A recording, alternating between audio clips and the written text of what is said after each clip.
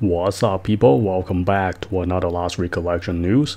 This time I'm going to go over the Tokyo Game Show. So they just finished that and I'm going to go over with a bunch of news. So first thing is the demo. The demo is going to release September 26th. Um, that's probably in Jap like Japanese time. And assuming we're getting on Monday in the US, which is the 25th because we're a day behind. And the demo is allow us to carry the save data over when the actual game comes out. So I'm not sure how many things we can carry over because uh, if the demo is in the very beginning of the game, sure, but if it's later in the game, not sure how that works. But obviously the save data will be carried over and we will get the benefit.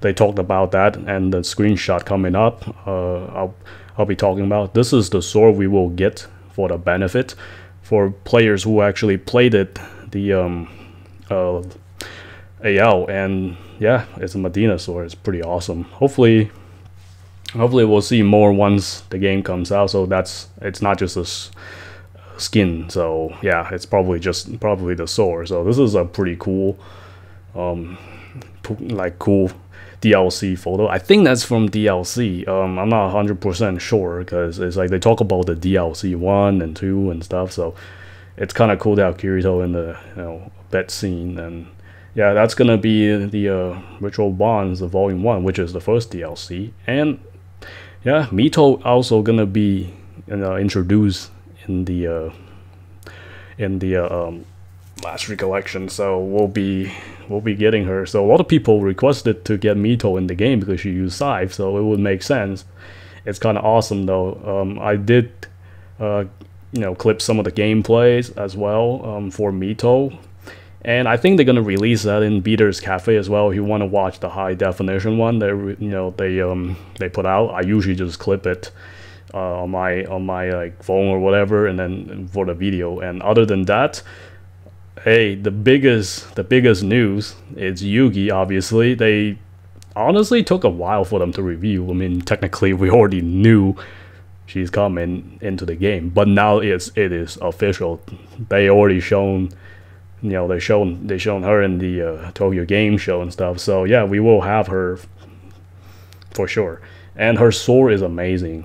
Like the grip is not even tied to the sword. That's like the that's the coolest one of the coolest design that I've seen. So so here's some of the gameplay uh, I'm gonna show for uh, Yuuki.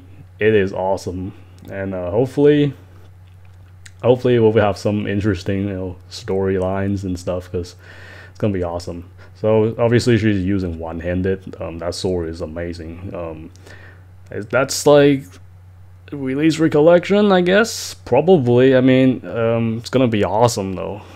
That is awesome. So they finally reviewed the uh, the full image as Yuuki in the corner. Yeah, it took them a while. I mean, we already knew she's gonna be in the game, but I think they were trying to save it, tell the Tokyo Game Show to review her. And other than that, that's pretty much it for the, all the uh, stuff I'm gonna cover. And demo will be out next week. I'll be excited for that and see how much we can actually explore. Question is, what can we carry over when the actual game comes out? They say the save data will be carried over to the actual game, so no clue. I mean, I don't even know when the demo taking place. If it's in the beginning, yeah, sure, it will make sense if we can carry some of the stuff over, but I think save data for sure. Um, not sure if anything that we farm actually carry over.